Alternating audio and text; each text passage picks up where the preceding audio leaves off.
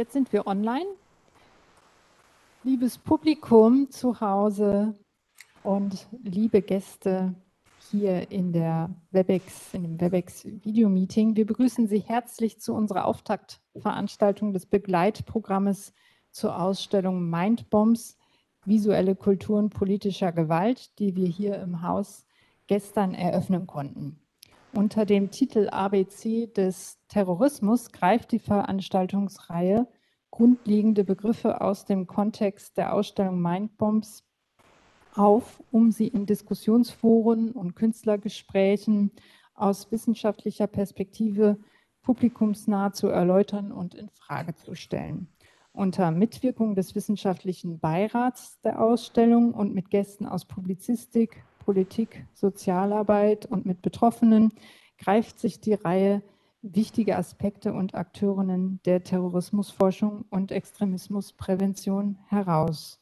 Und heute, einen Tag vor dem 20-jährigen Jahrestag von 9-11, dem Anschlag auf das World Trade Center und andere Einrichtungen in, in, in den USA, lautet unsere Auftaktveranstaltung A wie Anschlag. 20 Jahre 9-11. Wie erinnern wir diesen Tag des Terrors? Die Live-Aufnahmen der einstürzenden Türme des World Trade Center dokumentieren ein globales Krisenereignis von bis 2001 nach ungekanntem Ausmaß und sind zugleich ein Zerrbild der Mediengesellschaft. Einerseits wurden die Bilder des Terrors von den Medien rund um die Welt simultan übertragen und für das fassungslose Publikum kommentiert. Andererseits drohte ihre massenhafte Verbreitung in unzähligen Variationen und Endlosschleifen in einen Terror der Bilder umzukippen. Diese Ambivalenz wirft wichtige Fragen zur Krisenberichterstattung am und nach dem 11. September 2001 auf, denen wir heute nachgehen wollen. Wie wurden die Aufnahmen des 11. September in den Medien präsentiert? Wie haben sie die anschließende Krisenberichterstattung beeinflusst? Welche Wirkung hatten sie auf die Zuschauer? Welchen Einfluss hatte der 11. September auf das Feuilleton? Wie prägen die Ikonen der Katastrophe unser historisches Bewusstsein? Im Gespräch werden die Echtzeitübertragung sowie die inszenierte Medienrealität über Täter, Retter und Opfer erinnert. Die Freund- und Feindbildkonstruktionen in der Krisen- und Kriegsberichterstattung analysiert und die Ikonologie im Zeichen des 11. September reflektiert. Wir haben zu Gast, Sie sehen sie hier schon im Bild, Julie von Kessel, Journalistin, ZDF-Redakteurin und Reporterin und Autorin Julie von Kessel war am 11. September 2001 live vor Ort als ZDF-Reporterin am World Trade Center im Einsatz und interviewte die den Gebäuden entfliehenden Menschen. 2020 veröffentlichte, oder ich glaube es war 2019, veröffentlichte von Kessel ihren Roman Als der Himmel fiel über Familie, Freundschaft und Verrat und die Leserin und führt die Leserinnen in das New York von 9-11. Aus dem Roman wird sie hier auch lesen gleich. Sonja Zekri, Journalistin und seit 2020 Kulturkorrespondentin der Süddeutschen Zeitung, ist seit 2020 Kulturkorrespondentin der Süddeutschen Zeitung. Sonja Zekri hat mehrfach zur Frage, was ist Terrorismus, über die und über die Funktion bzw. Wirkung des Blicks auf politische Gewalt und terroristische Akte für gesellschaftliche Prozesse sowie über die Veränderungen des Feuilletons seit 9-11 geschrieben. Stefan Weichert ist Medien- und Kommunikationswissenschaftler. Er studierte Soziologie, Journalistik und Psychologie in Trier und Hamburg und absolvierte, absolvierte mehrere Forschungsaufenthalte in New York, Washington und Kalifornien. Weichert promovierte über die Medienberichterstattung anlässlich der Terroranschläge vom 11. September 2001 und befasst sich seitdem mit öffentlicher Krisenkommunikation und Krisen im medialen Kontext. Er ist seit über zwei Jahrzehnten im Hochschulmanagement und in der Journalistenausbildung tätig, davon über zwölf Jahre bereits als Professor für digitalen Journalismus in Hamburg und Berlin. Und seit 2020 leitet er das Vocer, Vocer, Institut für digitale Resilienz, einen gemeinnützigen Think and Do Tank für nachhaltige Innovation, Medienkompetenz und Digitalisierung.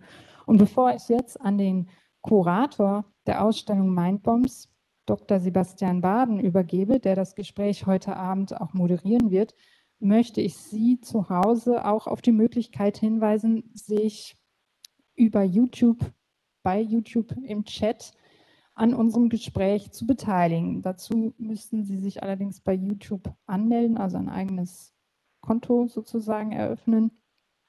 Gerne nehmen wir dann Ihre Fragen und Kommentare mit in das Gespräch auf und ich werde Sie auch ein bisschen fragen, da können Sie gerne drauf antworten.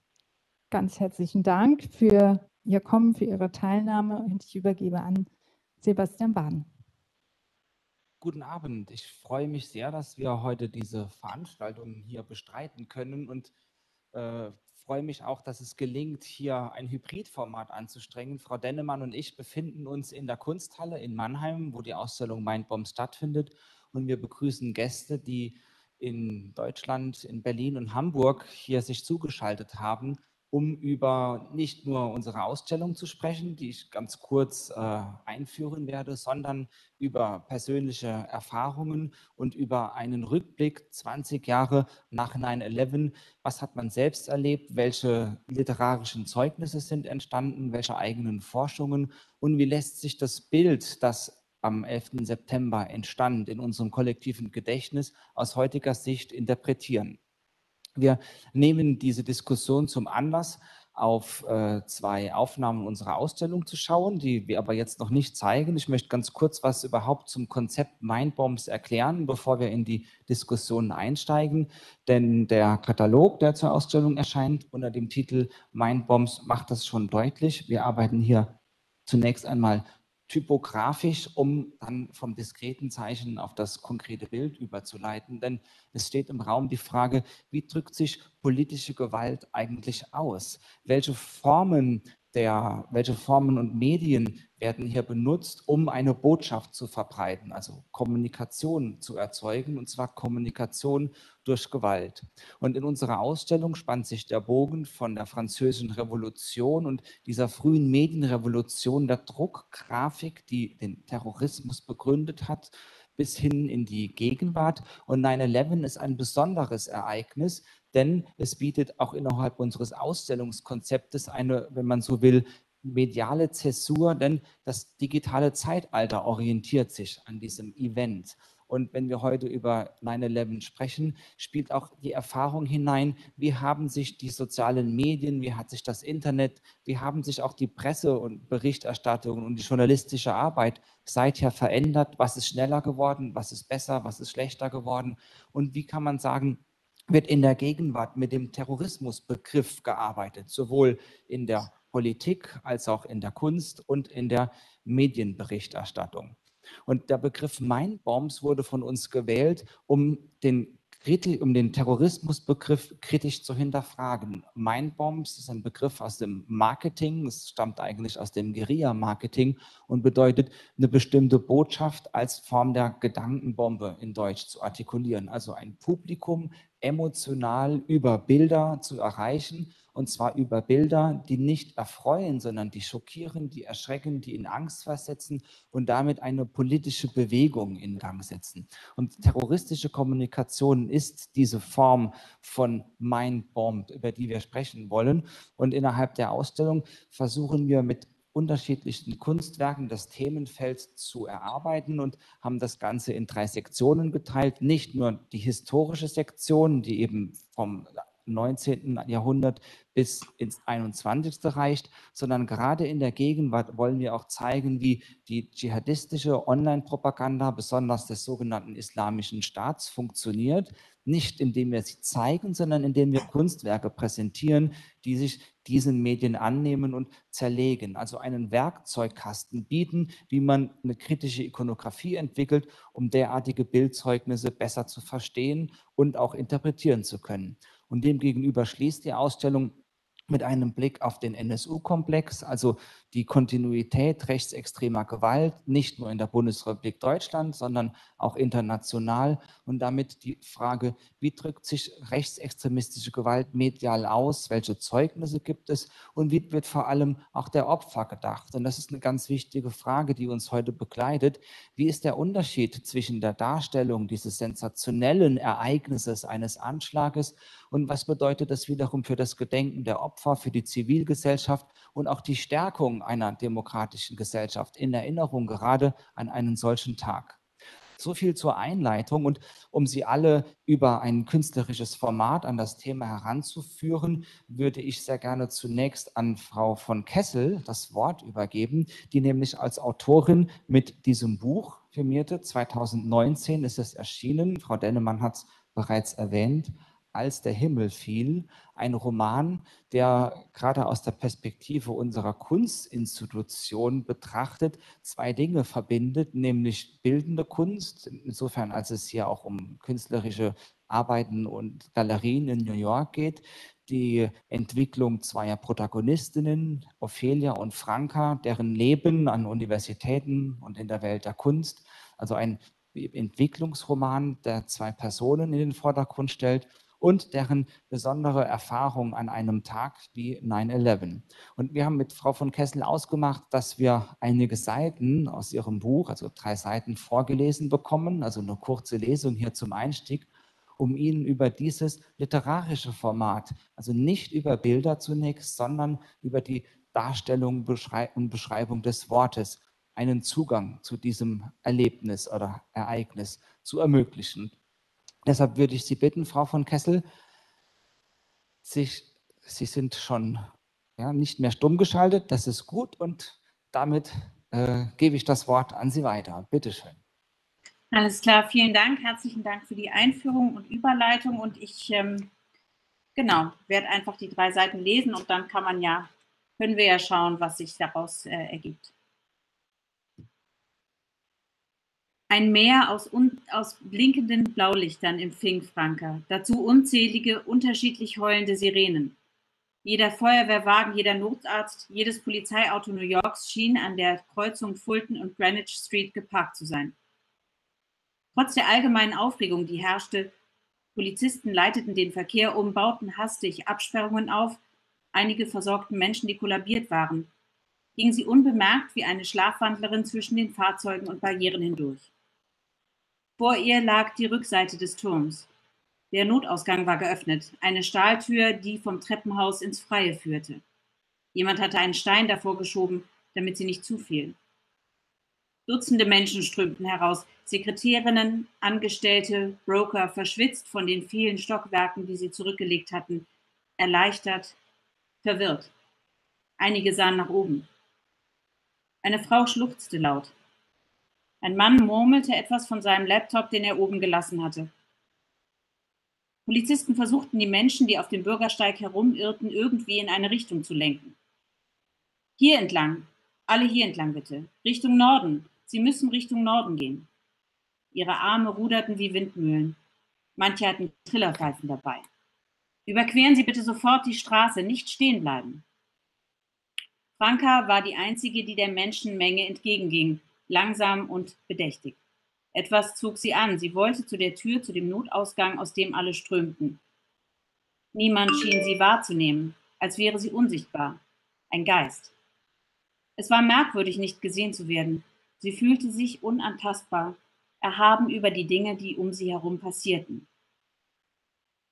Lucius hatte sie ein paar Kreuzungen weiter nördlich auf dem Weg hierher zurückgelassen. Sie waren zusammen den Broadway hinuntergelaufen, bis er plötzlich stehen geblieben war und nach oben gezeigt hatte. Was ist das? Kleine schwarze Flecken lösten sich vom Gebäude und fielen strudelnd vor dem blauen Himmel nach unten. Waren es Trümmerteile? Wieder brach etwas von oben ab. Das sind Menschen, hatte er auf einmal entgeistert gerufen und dann noch einmal leiser, das sind ja Menschen. Franka, die bis zu diesem Zeitpunkt seine Hand gehalten hatte, machte sich los und ging weiter. Was machst du? hatte er hier hinterhergerufen, doch sie hatte nur den Kopf geschüttelt. Sie konnte nicht stehen bleiben.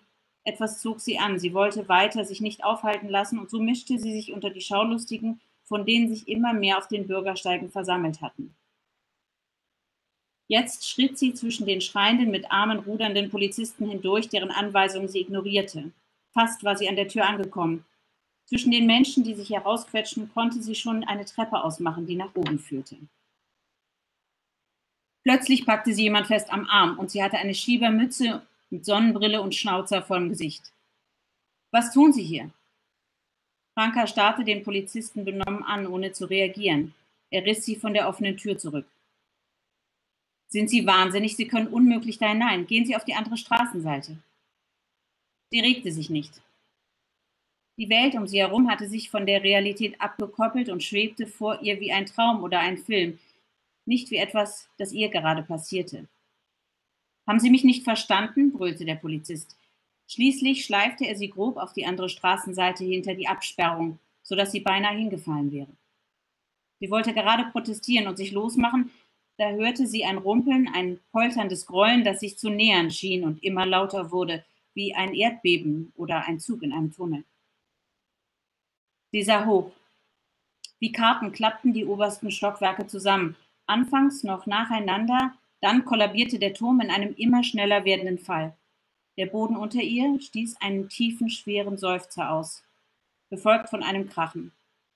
Dann schlug ihr eine weiße Wand aus Asche entgegen. Franka wurde nach hinten geschleudert. Dichter Qualm umgab sie, sie schloss die Augen und hob den Arm intuitiv vor ihr Gesicht.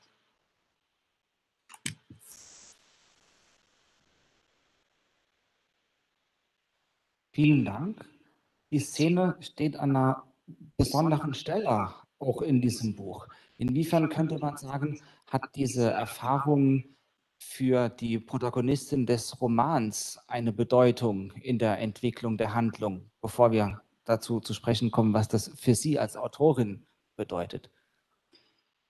Also ähm, eigentlich geht es in dem Buch um verschiedene Traumata und wie Menschen mit traumatischen Erlebnissen umgehen. Ich glaube, das war so das, was ich so ein bisschen untersuchen wollte. Und ähm, äh, diese beiden Cousinen haben beide unterschiedliche traumatische Erlebnisse gehabt und die eine Cousine hat auch noch einen Lehrer, der, der ein wirkliches Trauma erlebt hat und, und eigentlich nur verdrängt. Und ähm, auch diese Franka verdrängt relativ viel und äh, hat, hat äh, eine traumatische Geschichte in ihrer Kindheit gehabt und sie, sie ähm, eigentlich entgleitet ihr ihr Leben immer mehr und dieser ähm, Hintergrund von der, der, Anschläge macht es dann eigentlich unmöglich, noch weiter zu funktionieren.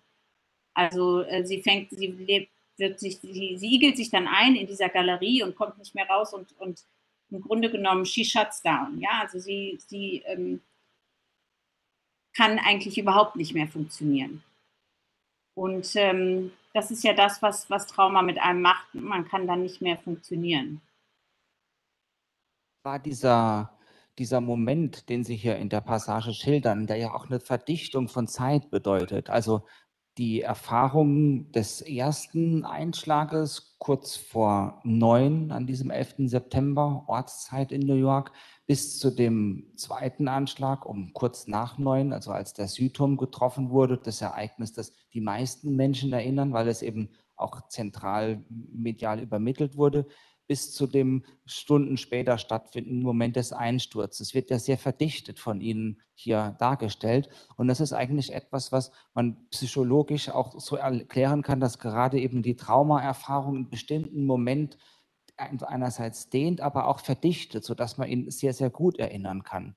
Und inwiefern ist hier Ihre eigene persönliche Erfahrung dieses Tages dann eingeflossen? Und wie kann man sagen, haben Sie aus der Nahperspektive das erlebt? Ja, also eigentlich ähm, relativ so. Es ist interessant, dass Sie sagen, dass das verdichtet ist. Der Gedanke war mir eigentlich noch gar nicht gekommen. Also ähm, ich habe es eigentlich nicht so unähnlich erfahren, nur dass ich jetzt nicht versucht habe, ins Gebäude zu kommen, aber ich ging auch relativ nah. Also ähm, wir, wir haben, ich habe damals im ZDF-Studio gearbeitet und äh, habe auch, das war jetzt auch mein erster Job, ich hab, hatte da noch nicht sehr viel Erfahrung, aber an dem Tag hatte ich schon relativ viele Interviews und wir mussten ja auch immer sehr früh kommen wegen der Zeitverschiebung nach Deutschland, ne? weil das heute Journal wird um Viertel vor drei überspielt. Das war immer das, was, also ähm, bis dahin musste das Tageswerk vollbracht sein. Und ähm, ähm, deswegen waren wir alle immer früh da und ich hatte an dem Tag Interviews am bei der Fashion Week, genau. Es war Fashion Week in New York und ähm, ich, ich hatte lange darauf hingearbeitet. Auf jeden Fall kam ich an, so gegen acht und dann und machte mich auf den, bereitete mich auf den Dreh vor und dann kam der Studioleiter des ZDF-Studios, äh, Udo van Kampen, rein in äh, unser Büro und sagte, da ist, macht den Fernseher an, da ist gerade ein Flugzeug ins World Trade Center geflogen. Und wir ähm, haben das dann angeschaut, so fünf bis zehn Minuten. Und dann dachte ich, okay, das ist ja wirklich äh, schlimm. Also wir, wir dachten irgendwie, es sei ein Sportflugzeug oder ein Hobbyflieger, weil in der Woche zuvor ähm, war ein Fallschirmspringer auf der Freiheitsstatue gelandet. Und deswegen dachten wir, es ist irgendwie so ein Stunt, der schiefgegangen ist.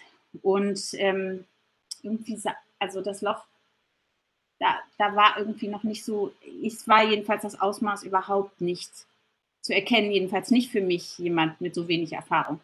Und ähm, dann bereitete ich mich vor, der Kameramann kam und wir wollten dann losgehen zur Fashion Week und dann kam der Udo und sagte, jetzt ist irgendwie ein zweites Flugzeug.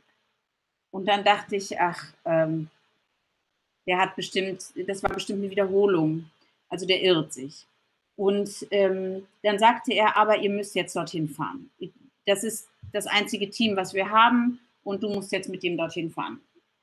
Und ähm, ja, und das war für mich an die, also ich dachte dann wirklich nur so an praktische Dinge, ja. Ich fand es nervig und ich dachte irgendwie, was sage ich jetzt den Tommy Hilfiger Leuten?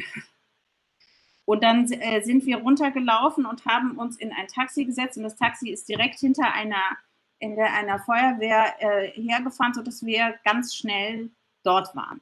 Und als wir dann ausstiegen aus dem Taxi und auf, das, auf die Twin Towers zuliefen, da habe ich das überhaupt erst so angefangen zu begreifen, was los war. Und die Leute kamen mir entgegen und sagten, und, und schrien, waren alle so außer sich und sagten, seht ihr, wie die Leute da springen? Da springen und fallen Menschen aus den obersten Stockwerken. Und das ist auch für mich nach wie vor eigentlich das, das schlimmste Bild, ist dieser schwarze Fleck vor dem blauen Himmel. Und, ähm, und das haben wir dann auch, auch gesehen, sind weiter drauf zugelaufen und dann dachte ich so, jetzt mache ich einfach diese Vox Pops, diese Interviews mit den Menschen, die rauskommen und ähm, habe aber auch weiterhin nicht gedacht, dass es gefährlich sein könnte. Und dann sind wir relativ nah an die Tür eben gekommen und, und ich wollte die Interviews machen. Dann kam ein Polizist und hat äh, gesagt, ihr müsst auf die andere Straßenseite. Es ist gefährlich, überall fallen Trümmer. Es fielen auch tatsächlich ja überall diese Blätter und ähm, Papier. Und dann äh, sind wir auf die andere, ich habe dann noch mit ihm argumentiert, also versucht irgendwie zu diskutieren wollte natürlich dort stehen bleiben, hatte auch meinen Chef im Nacken und wollte für den irgendwie die besten Bilder holen. Und ähm, ja, das, da denke ich immer noch dran, dass dieser Polizist uns natürlich das Leben gerettet hat. Wir sind dann auf die andere Straßenseite gegangen und dann haben wir die Leute interviewt, die rauskamen. Und vielleicht so beim fünften Interview oder sechsten. Deswegen, für mich war das alles relativ schnell aufeinander. Aber ähm, aber natürlich, in, in der Realität war es bestimmt nicht so. So, und dann bei dem fünften oder sechsten Interview ähm, hörten wir eben dieses herannahende Grollen und schauten hoch und äh, ja, und dann, dann stürzte das Gebäude ein und ich habe bestimmt vier Sekunden drauf gestarrt, ohne es irgendwie zu verstehen, was passiert. Und dann der nächste Moment war, war eben wie diese Aschewolke und ähm, dann haben wir uns verloren, der Kameramann und ich, und sind dann in unterschiedliche Richtungen gerannt. Und ähm, es ging ja dann nichts mehr, ja, kein Handy und, und nichts. Also als ich dann so halbwegs ähm, genug, ich war dann auch so Asche bedeckt, aber bin dann irgendwann dieser Wolke entkommen und sah auf mein Handy und sah eben nichts funktioniert mehr. Ich kann niemanden wissen lassen, dass ich, dass ich lebe. Und dann bin ich in ein Deli gelaufen und da waren nur zwei, drei Menschen drin, die kauerten alle unter den Tischen. Und, äh, und dann habe ich gesagt, ja, äh, gibt es ein Telefon? Er hielt mir das so entgegen. Und dann habe ich im Studio angerufen, um die das wissen zu lassen. Und auch da, es war irgendwie dann so klar, dass alles anders war. Da ging auch niemand dran mit ZDF oder so, sondern nur so, ja, mein Chef sagte nur ja, und ich sagte, ja, ich bin's. Also wir haben es irgendwie, ich, ich habe es überlebt und ich komme jetzt hoch. Und dann bin ich relativ schnell ins Studio gefahren und habe dieses Band abgegeben, das irgendwie man denkt eben an solche Sachen, ja, ich muss das Band abgeben, warum habe ich solche Schuhe angezogen? Ich kann wegen dieser Schuhe, werde ich jetzt heute sterben, weil ich kann dieser Aschewolke nicht entkommen, weil ich die ganze Zeit umknicke. Ja, ich hatte so Sandalen. Naja, also jedenfalls war es irgendwie so, ähm, genau, es war einfach was sehr Unvermutetes, was so über ähm, einen rein ähm, krachte, über uns kam und, und äh, ja, und dann ähm, bin ich im Studio angekommen und habe alles abgegeben und dann gab es noch 20 Minuten des Zitterns, bis der Kameramann auch kam. Zum Glück hatte der es auch geschafft. Ich weiß noch, auf dem Weg dann im Studio gab es auch so eine Situation, dass, dass ganz viele Menschen mir über die Schulter, ich, ich hatte dann eine Frau angehalten, ja, ähm, im Auto und gesagt, können Sie mich ein bisschen mitnehmen? Und die war auch völlig, stand völlig neben sich und sagte, klar, ja, ja, wohin müssen Sie? Und dann fuhren wir im Auto und dann sahen wir, weil die Straßen waren ja voll, ganz viele Menschen, die hinter uns also auf etwas zeigten und schrien. Und dann sagte ich, fahr weiter, ich drehe mich um. Weil ich irgendwie dachte, einer von uns muss jetzt schauen, worum es geht, weil es gab, war ja immer noch das dritte Flugzeug in der Luft, ja. Wir wussten nicht, ob es das, naja, und da sah ich eben, dass der zweite Turm eingestürzt war und und habe ihr das gesagt. Ja, und die hat mich dann ins Studio gebracht. Diese fremde Frau habe ich nie wieder gesehen. Frau von Kessel, Sie haben ja den Kameramann bereits erwähnt. Gab es eine Diskussion über den Ausschnitt in dem Moment von der Position, wo Sie gefilmt haben? Sie sprachen ja bereits von den Interviews und äh, meine Brücke führt jetzt eben zu den Bildern, zu den anderen Bildern, nämlich von den Türmen. Wie war zwischen Ihnen die Kommunikation? Was ist jetzt wichtiger? Muss man den Turm filmen? Filmt man die Menschen? Welche, welcher Moment der, ähm, des Ausschnitts war in dem Moment in der Diskussion aus journalistischer Perspektive? Ja, also das ist eine interessante Frage, weil, weil das, dieses Ereignis war ja von vorne bis hinten oder zumindest kurz nach dem ersten Einschlag. Ab dem Zeitpunkt waren alle Kameras drauf gerichtet und die ganze Welt konnte zuschauen. Und ähm, da ich also wusste, das Bild der brennenden Türme, das haben wir, das brauche ich nicht zu filmen, ähm, wusste ich, dass, äh, dass es am besten ist, einfach mit Menschen zu sprechen. Oder mit der Feuerwehr und so weiter. Aber so weit kamen wir ja gar nicht. Wir haben ja eigentlich nur 15 Minuten, 20 Minuten gefilmt. Also der hat bestimmt so ein paar Einstellungen gemacht, als wir darauf zuliefen und dann äh, diese Interviews. Aber, aber genau, natürlich ist dies ein Ereignis gewesen, und gerade, ich finde auch gerade dieses Zuschauen hat so besonders schlimm gemacht, weil sich eben so ein, so ein Grauen entfaltete und man konnte eben nichts tun. Und, ähm, und dieses Gefühl, nichts tun zu können, das, äh, das, das habe ich dann nochmal vor ein paar Wochen, als diese Bilder aus Afghanistan äh, ähm, kamen und, und dort auch die Männer von den Flugzeugen fielen, da habe ich nochmal sehr stark dran zurückgedacht. Oder hat mich nochmal sehr stark in diese Zeit zurückgeworfen, weil ich, weil, weil es eigentlich ja wirklich das gleiche Bild ist, ja, dieser schwarze Fleck vor dem blauen Himmel und, äh, und nach 20 Jahren irgendwie schließt sich so der Kreis. Das fand ich ziemlich schrecklich oder ziemlich beeindruckend. Tatsächlich, die Aspekte Nähe und Distanz sind an der Stelle sehr, sehr relevant. Ich habe gerade eine Rückkopplung am Mikrofon. Ja, das liegt daran, dass wir jetzt auch den Ton hören, der bei Julie von Kessel ah, ankommt. Verstehe. Gut.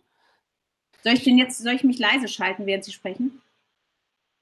Vielleicht könnten Vielleicht Sie sich ganz das. kurz stumm schalten, genau, und ich würde Sie dann äh, bitten, äh, sich wieder äh, äh, zu, nicht mehr äh, zu entmuten, weil ich gerne auf Seite 302 in Kapitel 5 noch eine ganz kurze Passage Ihres Buches hier zitieren möchte, um äh, dann auf äh, Herrn Weichert überzuleiten. Es geht hier um Kyrill und Steve, die zu Hause sitzen auf dem Sofa und unter dem Go East Graffiti rauchen, während sie immer wieder auf einen kleinen Fernseher starten, den Lucius aufgetrieben und in die Ecke gestellt hatte.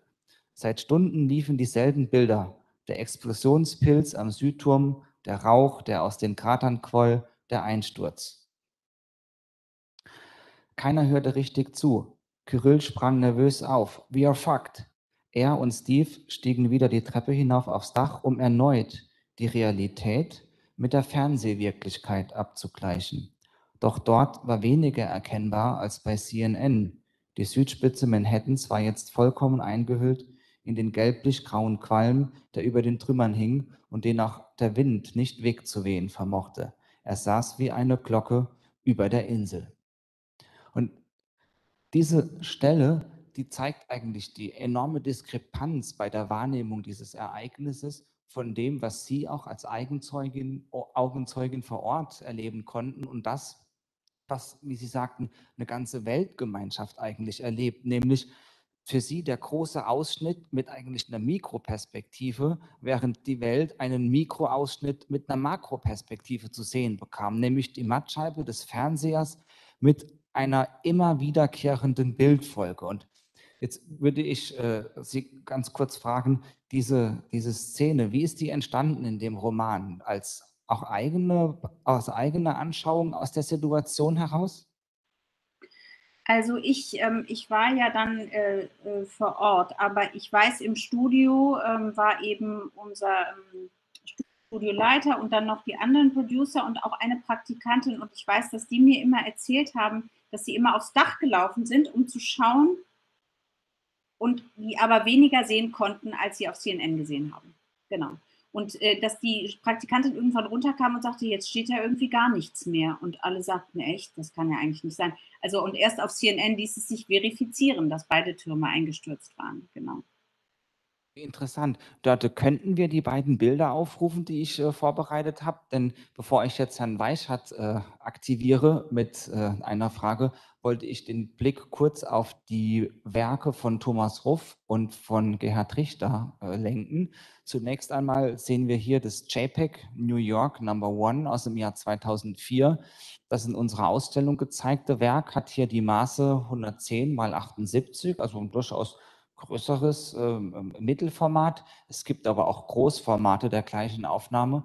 Und das, was Thomas Ruff hier gemacht hat, ist tatsächlich aus dem Internet gezogene JPEGs mit Algorithmen zu bearbeiten, um sie zu vergrößern.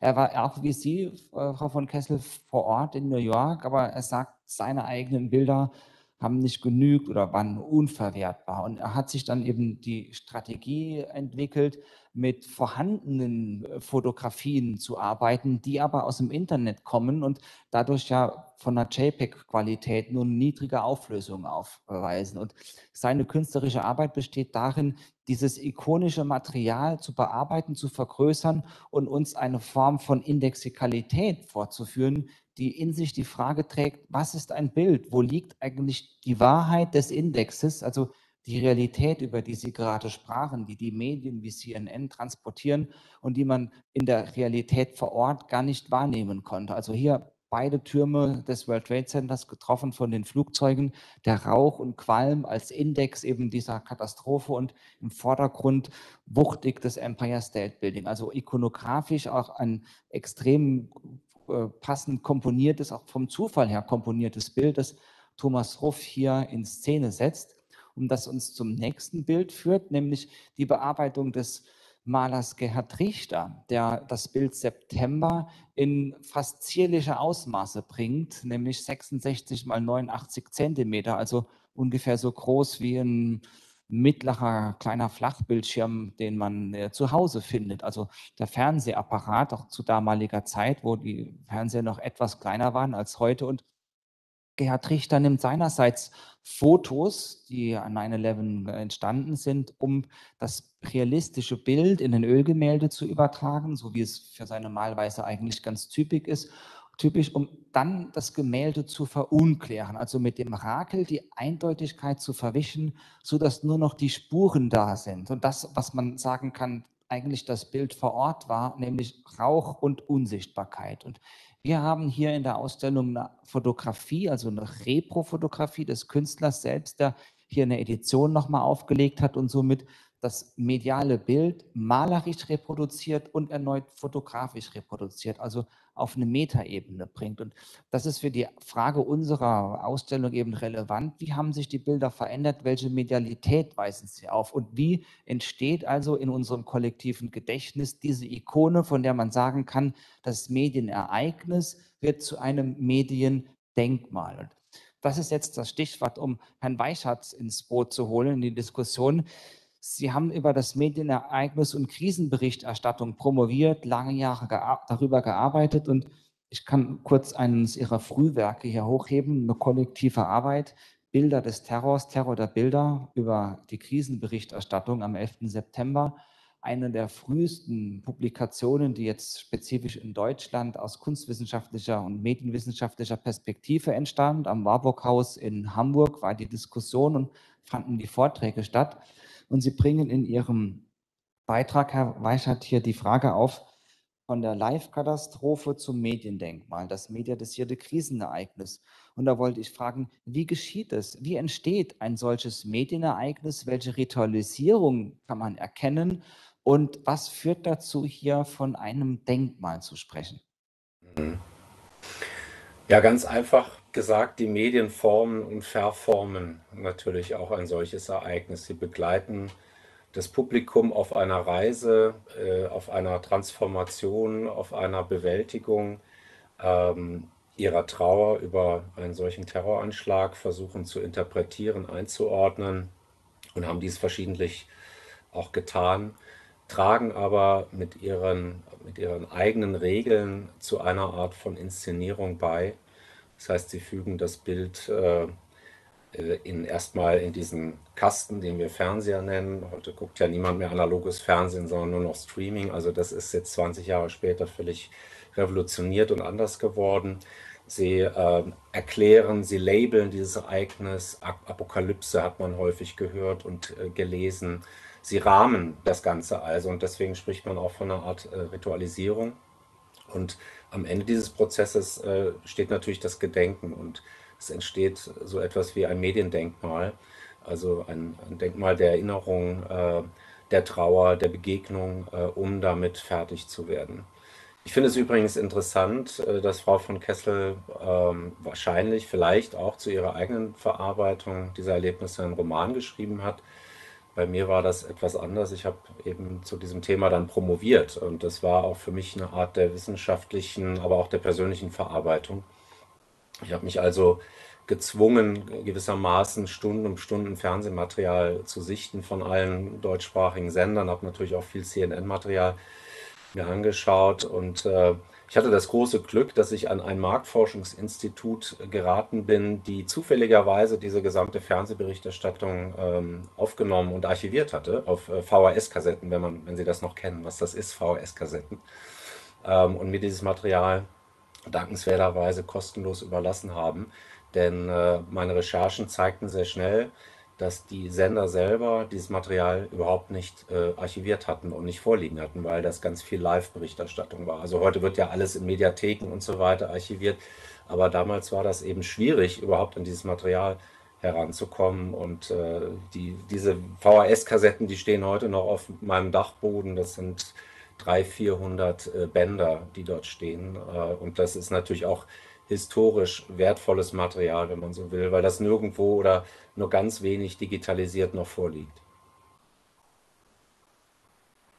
Herr Weichert, in Ihrem Aufsatz gibt es den dialektischen Phasenzyklus mediatisierter Krisenereignisse, so nennt sich die eine Grafik.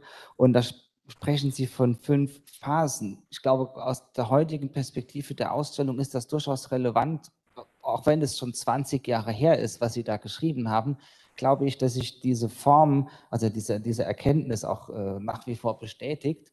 Ähm, ich weiß nicht, soll ich es kurz vortragen oder wollen Sie diese fünf Phasen erläutern, die äh, da stehen? Sonst äh, nehme ich, ich. Ich würde es mal versuchen, ähm, kurz äh, zu, zu erklären. Das ist ja jetzt mhm. sehr wissenschaftlich und wir haben ja jetzt hier nicht nur ein ja, ja. wissenschaftliches Publikum, was uns zuhört. Es war so ein bisschen auch der Versuch, ähm, das wissenschaftlich zu, zu, theoretisieren, also auch einen Erklärungsversuch zu finden äh, und auch zu schauen, gibt es in dieser Art Berichterstattung möglicherweise sich wiederholende Muster?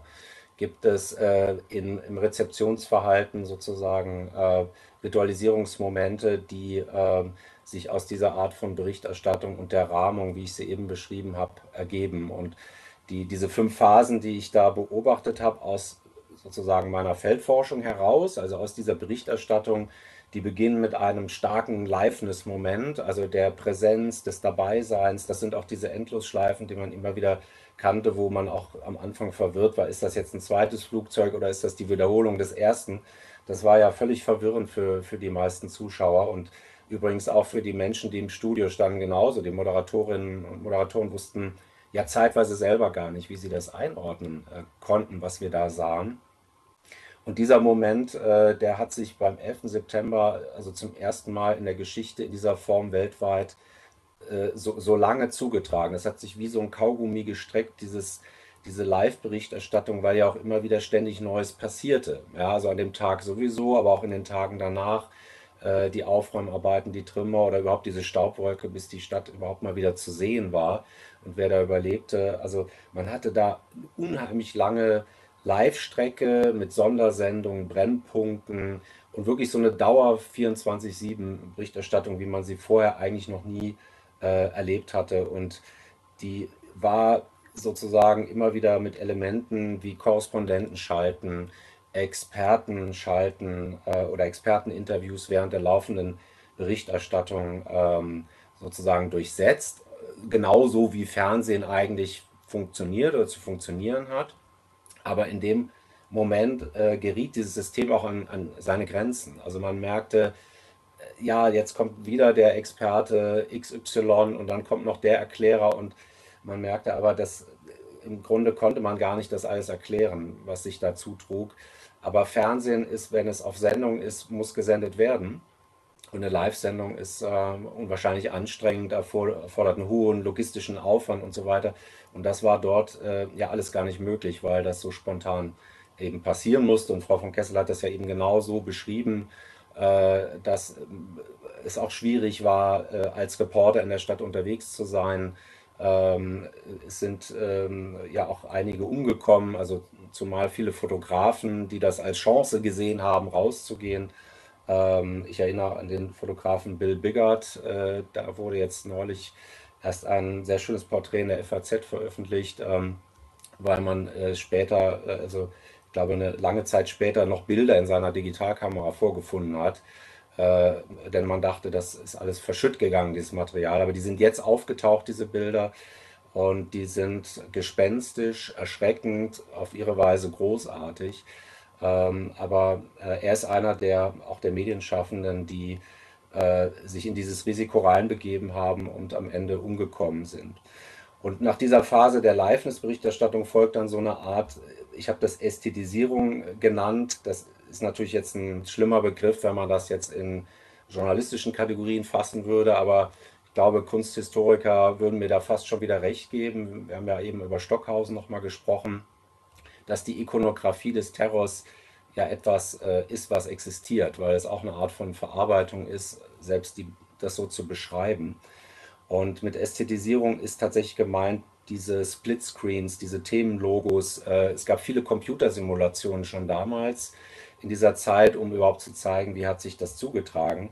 Das heißt, hier, hier überlagert die Technologie des Fernsehens oder Möglichkeiten der Grafik oder grafischen Darstellung überlagert in gewisser Weise dieses reelle Moment und diesen Liveness-Effekt. Und das zieht sich eigentlich immer so weiter. Äh, über, über mehrere Monate kann man das verfolgen. Äh, dass die Berichterstattung dann sehr, schlag, sehr schnell umschlug in so eine Stereotypisierung von Gut und Böse. Ich nehme an, dass Frau Sreki da gleich etwas auch zu sagen kann. Dieses antagonistische, ähm, die westliche Welt und äh, der Islam, also dieses dieses Bild, was da auch in den westlichen Medien gezeichnet wurde, äh, das Bild, was in den, in den, östlichen Medien gezeichnet worden ist. Also da hat sich eine, eine Konfrontation herausgebildet, die, wie wir wissen, ja dann auch in einer Kriegser Kriegserklärung mündete. Und das alles sind eben solche Phasen, die sich sehr gut und eindeutig äh, an, in der Berichterstattung ablesen lassen, äh, bis hin dann zu dem ersten Jahrestag wo man eben auch entweder in einer Live-Übertragung übrigens in einer großen Zeremonie in New York äh, der Opfer gedachte. Und das wiederholt sich übrigens jetzt seit 20 Jahren immer wieder. Also jetzt ist das 20-Jährige, vor zehn Jahren äh, war das auch ähnlich. Ähm, mich hat eben eine Deutschlandfunk-Journalistin gefragt, ob ich denn ein Ritual hätte, wie ich dieser dieses Tages gedenke. Und ähm, ich habe mir das nie so klar gemacht. Natürlich denke ich jeden 11. September seit 20 Jahren an dieses Ereignis. Es liegt aber auch daran, dass ich immer wieder für Interviews angefragt werde und dazu Stellung nehmen darf, ähm, weil ich sozusagen als Experte eben auch für dieses Thema gelte. Das heißt, mein Gedenken besteht darin, jedes Jahr wieder neu darüber nachzudenken, was hat sich eigentlich verändert seitdem, äh, was hat sich bei mir verändert. Äh, mich hat dieses Thema Krisen und Krisenberichterstattung nie wieder losgelassen. Das ist bis heute mein Thema geblieben, auf einer anderen Ebene vielleicht, aber das hat, es auch, hat auch was mit mir gemacht als, als Wissenschaftler, als Person. Und äh, deswegen gedenke ich jedes Jahr immer wieder ähm, daran, indem ich mir äh, natürlich der Opfer gedenke, aber mir auch darüber Gedanken mache, äh, wie entwickelt sich die Medienwelt eigentlich seitdem? Wie hat sich der Journalismus äh, weiterentwickelt oder zurückentwickelt? Und wir werden bestimmt noch gleich über soziale Medien sprechen. Und ich finde, es hat sich nicht alles zum Positiven entwickelt. Vielen Dank. Sie haben Frau Zekri jetzt schon ins Spiel gebracht und tatsächlich würde ich ihr gerne jetzt das Wort übertragen, nämlich äh, aus ähm, Perspektive des auch des Ethischen und dem, nicht nur den Begriff des Terrorismus in, äh, ins Spiel zu bringen, sondern zunächst mal von der Großlage auszugehen, die in einer Redaktion herrscht und der Tatsache, dass Julie von Kessel schon erwähnt hat, was für sie so erschreckend fand zum Guten in dem Fall, dass eben nicht die fallenden, sterbenden Menschen in Zeitungen abgebildet wurden, sondern dass sich die Berichterstattung, wenn man das statistisch betrachtet, sehr stark auf genau den einen ikonografischen Moment konzentriert, nämlich den von vielen, vielen Fotografen und Kameras und Fernsehteams eingefangenen Einschlag des äh, Flugzeugs äh, Flight 175 in den Südturm des World Trade Centers. Und wir haben im Vorfeld, Frau Zekri, die Großlage angesprochen. Was bedeutet das für eine Redaktion? Ich musste gerade sehr daran denken, als Julie von Kessel darüber äh, beschrieben hat, wie sie ähm, sozusagen immer noch handwerklich professionell funktioniert ähm, hat, in, äh, obwohl äh, alle Menschen völlig außer sich waren, das sind dann die journalistischen Reflexe. Und bei allem, was, also bei allem, was dieser Tag war, war er natürlich diese sogenannte große Lage, eine Großlage, ein Großereignis, ähm, was immer, was, also das hört sich jetzt vielleicht zynisch an, aber ähm, was, für, was für Journalisten eben auch einfach ähm, besondere Tage sind, wo auf einmal sozusagen es so auch in großen Redaktionen so eine Gerichtetheit gibt. Nun war ja dieses Ereignis für Deutschland relativ früh, man konnte gut äh, reagieren, man konnte sich absprechen und ähm, überall liefen die Fernseher. Es war wie, wie der Tod von Lady Di, wie der Tod von Stalin für alle, die damals gelebt haben. Ähm, jeder weiß heute noch, wo er war, als das passiert ist. Und ich weiß noch, wie dieser Tag, ich war damals relativ früh bei, neu bei der Süddeutschen, relativ neu im Feuilleton, ähm, wie wir das erlebt haben. Und die Großlage ist eben so ein Ereignis wie eine wie die Trump-Wahl, wie der Brexit, ähm, wie jetzt Afghanistan, der Fall von Kabul, das sind diese Großlagen. Und ähm, dann ist es tatsächlich so, deswegen, ich kann es sehr gut nachvollziehen, was Sie da beschrieben haben.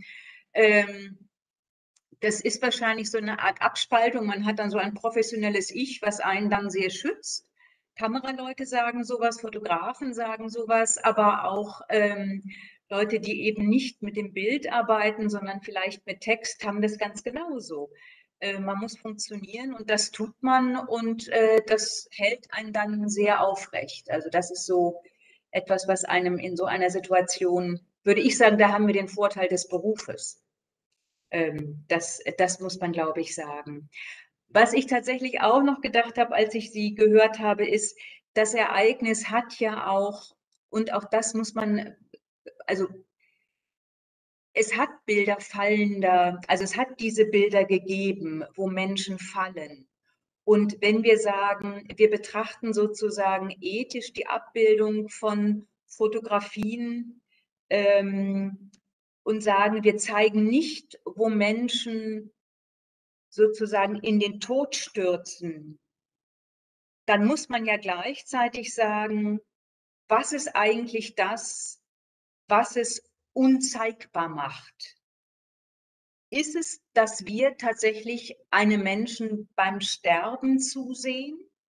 Dann dürften wir auch die Bilder nicht zeigen, wie der Turm einstürzt. Wir dürften dann auch nicht zeigen, wie das Flugzeug in den Turm geht. Und vielleicht, das können wir gleich nochmal drüber reden, vielleicht ist es tatsächlich diese Individualisierung, dass in dem Moment, wo dieser Punkt fällt, so wie wir es jetzt wieder in Afghanistan auf dem Flughafen von Kabul gesehen haben, dass man eben einfach weiß, es ist ein Mensch der fällt. Und wir schauen diesem Menschen, auch wenn wir nicht wissen, wer es ist und der hat kein Gesicht, wir schauen diesem Menschen beim Sterben zu. Aber eigentlich sozusagen, wenn man diesen, wenn man es weiterfassen würde, muss man natürlich sagen, man kann alle diese Bilder nicht zeigen. In, in alle diese Bilder, die wir haben, also auch dieser, der Aufprall, der Einsturz, ähm, das, das alles ist mit dem, mit dem Verlust von Menschen verbunden. Ähm, also das wäre so, das wäre so eine, eine erste, ähm, ein erster Gedanke. Danke. Der Verlust von Menschenleben ist etwas, was die Betrachter in Betrachterinnen beim Anblick dieser Bilder eben schockiert, also in Angst versetzt. Ja. Und diese Angst ist etwas, was uns auf einen zentralen Begriff zurückführt, nämlich Terror oder Terrorismus. In welchem Moment entscheidet die Großlage der Redaktion, dieses Wort zu benutzen? Naja, die, eine Redaktion ist ja nicht ein abgekoppelter Kosmos von irgendetwas anderem. Eine Redaktion ist ein Teil der Öffentlichkeit, eines, eines kollektiven Diskurses, auch eines, einer politischen Öffentlichkeit. Das heißt, ähm, da, das sind ja kommunizierende Röhren. Und ähm, äh, der Terrorbegriff, ich habe das ein paar Mal schon gesagt, der Terrorbegriff ist natürlich einer, der, der, der da sich sofort aufgedrängt hat. Es gab Vorläufer, es war nicht der erste Anschlag von Al-Qaida, es gab äh, äh, sozusagen, man wusste, es gibt politischen Terrorismus, es gibt diesen Dschihadismus, diesen islamistischen Terrorismus. Es war ja dann auch sehr schnell klar, woher das kommt. Und damit war eben auch diese Bezeichnung und diese, diese Kategorisierung war dann klar. Ähm, und wenn man, das, das ging ja dann weiter. Wir haben sozusagen ja jetzt 20 Jahre 9-11 ähm, äh, bedeuten natürlich auch dann einen x-ten Jahrestag von Guantanamo. Und da merkt man dann eben schon, wie das sozusagen dieser, dieser Begriff des Terrors, dem, dem wohnt so eine, so eine Tendenz zur Expansion inne, ihn auszuweiten und die Maßnahmen auszuweiten. Und das ist etwas, was wir natürlich auch gesehen haben. Und wenn wir jetzt äh, an diesen Moment zurückdenken vor 20 Jahren, und Frau von Kessel hat das ja auch, äh, das auch mit diesem Buch so eindrucksvoll zurückgebracht, ähm, dann denken wir natürlich auch nochmal daran, wie war dieses Land, wie waren wir? Wir waren alle New York, wir kannten alle Amerika, wir waren alle getroffen ähm, wir, wir, wollten alle Rache nehmen, wir konnten das auch nicht auf uns sitzen lassen. Ähm, aber was, was haben wir auch hingenommen und was hat Amerika hingenommen an, ähm, an Aushebelung des Rechtsstaates, des Völkerrechts, äh, an Verrat an den eigenen Prinzipien? Ähm, auch das ist etwas, was aus heutiger Perspektive ähm, Manches ist zurückgedreht worden, manches ist nicht zurückgedreht worden, aber ähm, was ja auf einmal auch vielleicht, vielleicht tatsächlich aus Demokratieperspektive das Erschreckendere ist, wie schnell das alles über Bord geworfen wurde. Und ähm, Terror und Terrorismus ähm, ist eben ein Begriff, der bis heute benutzt wird, und sich auch verselbstständigt hat und sich immer verselbstständigt. Und ich habe es irgendwann mal gesagt, es ist für Demokratien eine Versuchung, immer ähm, sozusagen. Von, eigentlich haben wir uns davon nicht wieder erholt und ähm, wir haben es gerade schon gehört, diejenigen, die da sozusagen dieses, die, die diesem Schwarz-Weiß-Denken, die damit so kategorisiert werden, da sind wir, wir sind die Opfer und da sind die Terroristen und das ist so die sozusagen die Illusion von Klarheit, von, von äh, immerwährender Defensive, auch von immerwährender Bedrohung. Ähm, und das führt natürlich dazu, dass ganze Bevölkerungsgruppen ausgegrenzt werden. Und das sind tatsächlich ähm, in Deutschland zumindest und auch in weiten Teilen Europas ähm, sind es Muslime. Das muss man ganz klar sagen, die sich davon eigentlich nicht mehr erholt haben. Wenn wir von der Perspektive der Zeitungsredaktion schauen möchten, und Sie waren ja äh, zu der Zeit auch fürs Feuilleton tätig, was würden Sie sagen, gibt Ihnen die Rubriken der Kultur des Feuilletons für eine Möglichkeit, sich in diesen Diskurs einzubringen gegenüber jetzt zum Beispiel den Titelseiten, Seite 3 oder Politik? Welche Möglichkeit der sagen wir mal, kulturellen Vermittlung dieses Konfliktes, auch des Kampfbegriffs Terrorismus, hat sich Ihnen hier in den letzten 20 Jahren geboten und wie sehen Sie die Veränderung? Also man kann, glaube ich, schon sagen, ja, es gab einen Historikerstreit, aber man kann, glaube ich, schon sagen, dass 9-11 die Geburt des politischen Feuilletons war, auf eine ganz bestimmte Weise. Also nicht so ein Debattenfeuilleton, wo dann äh, Großkritiker über die, weiß ich nicht, die jüngste Ringinterpretation in Bayreuth ähm, dann sich austauschen oder befehden oder angreifen ähm, sondern wir hatten damals, das weiß ich noch, je, natürlich, je nachdem natürlich immer auch, wer das, wer, wer sozusagen dann ähm, das Feuilleton leitet, aber das war schon eigentlich in allen Feuilletons.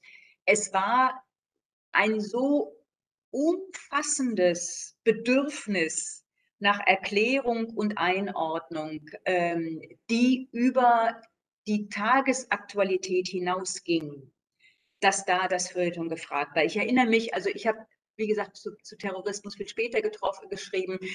Ich persönlich hatte das ganz dringende Bedürfnis, wenn wir 9-11 als Endpunkt begreifen, ich wollte an die Anfänge, ich wollte damals irgendwann sehr schnell in den Irak, wollte sehen, was, welche Auswirkungen hat das da, wo kommt das her, ähm, ich wollte auch die, die, sozusagen diesen, diesen islamischen Teil, was, was sind, was ist das da eigentlich? Das kann doch gar nicht sein, dass die alle mit Flugzeugen in Türme fliegen. Das tun die doch gar nicht. Wie stehen die dazu? Also ich hatte, das war jetzt so ein ganz persönlicher äh, Affekt, den ich hatte. Ich weiß, dass damals Navid Kermani geschrieben hat ähm, über die Sprache von Osama bin Laden, über dieses ein Arabisch, das eben ähm, wie man heute weiß, ja auch gar nicht so ungewöhnlich, aber äh, wohl ein sehr schönes Arabisch hatte, was immer wieder auch so äh, bestimmte theologische ähm, Anspielungen benutzt hat. Ähm, dann gab es ein Bild, ähm, was eben auch äh, aussah wie Déjeuner sur l'air, das Frühstück im Freien oder Frühstück im Grün oder im Freien. Ähm, sozusagen diese Gruppierungen, diese Bildanalysen ähm, sozusagen, wer zeigt sich wann mit Kalaschnikow. Das waren alles Themen, die unbedingt ins Feuilleton gehörten, bis zur Frage, ähm, wie kann, äh, wie, wie sozusagen ähm, sieht die ganze Situation völkerrechtlich aus? Und äh, Sie haben in allen Redaktionen, das sind große Kollektive, da gibt es Flügel und Gruppierungen und ähm, wir hatten auch in, bei der Süddeutschen gab es eine Gruppe von Kollegen, ähm, die sich selber dann auch so spaßeshalber Bellizisten genannt haben und fanden, also man kann da jetzt äh, durchaus mal militärisch eingreifen. Und andere, und das war dann eben schon das Feuilleton, die gesagt haben, also es gibt ein Völkerrecht und was wissen wir und wie ist die Grundlage? Ähm, und was kann da alles zu Bruch gehen und was bedeutet es, wenn wir Saddam vom Sockel holen?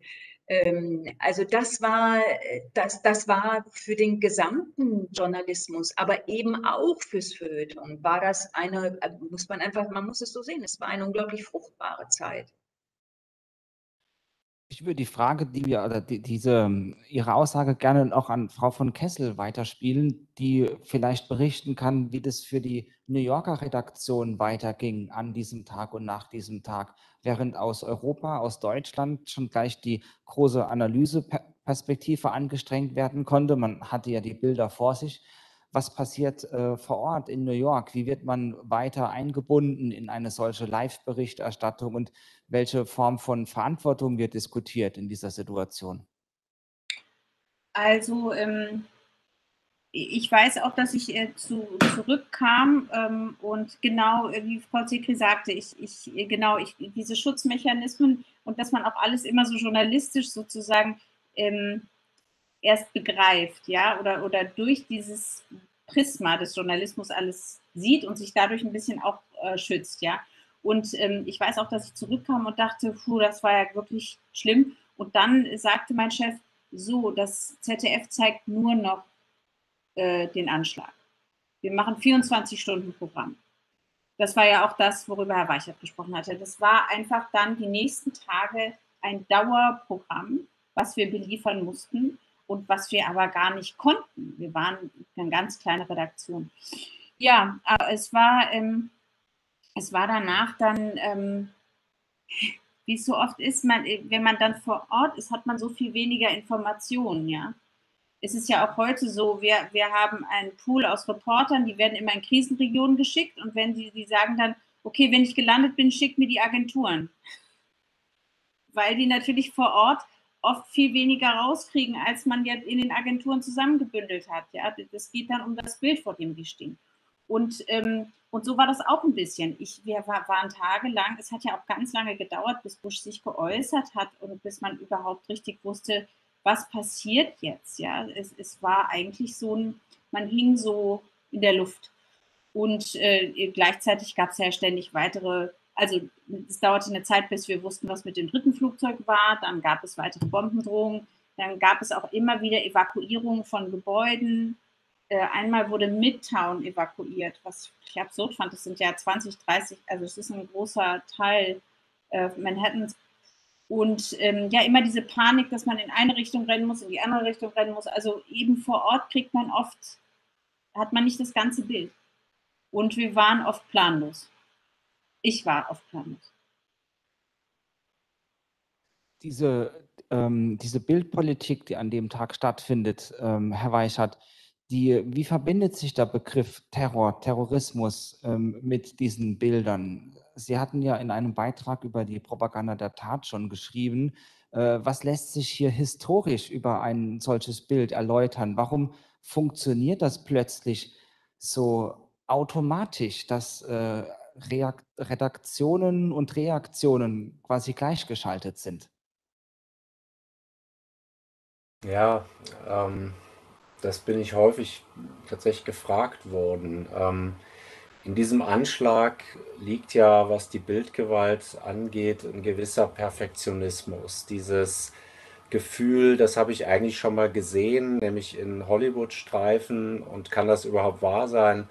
War ja das Gefühl, was viele hatten. Ähm, und diese Bilder sind auf ihrer Weise schon damals so einzigartig gewesen, dass da auch keiner sich getraut hat, wegzuschauen oder wegzuschalten. Also es gab ja auch auf Rezipientinnenseite einen Zwang, dran zu bleiben an der Berichterstattung und bloß nicht irgendwie mal fünf Minuten aufs Klo zu gehen, weil es könnte ja doch noch mal was ganz anderes passieren. Und der Terrorismus, äh, über den Begriff kann muss man streiten, hat aber ja von der Wortherkunft ähm, die Absicht, Furcht und Schrecken zu verbreiten in der Bevölkerung. Das ist Terror, das ist das, der Wortbegriff äh, und das, was er meint. Und insofern war dieses perfekt angelegte Terrorereignis äh, eben auch etwas, wo sich die Medien danach fragen lassen mussten, ob sie instrumentalisiert worden sind, äh, wo, weil sie nämlich natürlich diesen Effekt maximal verstärkt haben äh, durch ihre Dauerberichterstattung. So, das heißt, wir sind da so ein bisschen, äh, wir sind da ganz eindeutig bei einem Dilemma, bei einem so sich selbst bestätigenden äh, Ding, äh, was sich auch in dieser Endlosschleife immer wieder zeigte dass die Angst nicht nur einmalig erlebt worden ist, sondern tausendfach am Bildschirm immer wieder neu erlebt wurde äh, und die auch sehr, sehr groß tatsächlich bei vielen Menschen gewesen ist, nicht nur in New York, sondern überall auf der Welt, dass das möglicherweise der Beginn eines neuen Weltkriegs sein könnte. Äh, dass die zivilisierte Welt so getroffen worden ist äh, und getroffen werden konnte mit Passagierflugzeugen in in Hochhäuser, äh, die, die für, als Wirtschaftssymbole stehen, dass so eine Verletzlichkeit gegeben ist, äh, hat, glaube ich, alle Menschen überrascht. Äh, auch wenn es vorher natürlich schon Anschläge gegeben hat vom Al-Qaida. Und es gab ja selbst auf das World Trade Center schon früher Anschläge. Aber dass man mit einer solchen perfiden Kommunikationsstrategie, sage ich jetzt mal bewusst, arbeiten würde, hätte man, glaube ich, so äh, jedenfalls als Zivilist nicht für möglich gehalten. Terrorexperten haben ja später gesagt, naja, das war ja immer möglich. Äh, Atomkraftwerke sind Gefahren, äh, birgen Gefahrenpotenzial genauso wie Hochhäuser. Also alle zivilen, möglichen zivilen Ziele, die ja auch für die, die Wirtschaftskraft der äh, westlichen Welt stehen. Und auch heute, 20 Jahre später, wenn man mit den großen Investigativjournalisten spricht, äh, die damals sehr viel recherchiert haben. Georg Maskolo ist zum Beispiel jemand, den wir alle, glaube ich, kennen oder den Namen schon mal gehört haben, äh, ehemalig äh, beim Spiegel und jetzt bei dem Rechercheverbund von, von Süddeutscher Zeitung, Norddeutschen Rundfunk und Westdeutschen Rundfunk, sagt ganz klar eindeutig, äh, das hätte so nicht laufen dürfen, dass die Fernsehmedien sich so auf diese Weise haben instrumentalisieren lassen.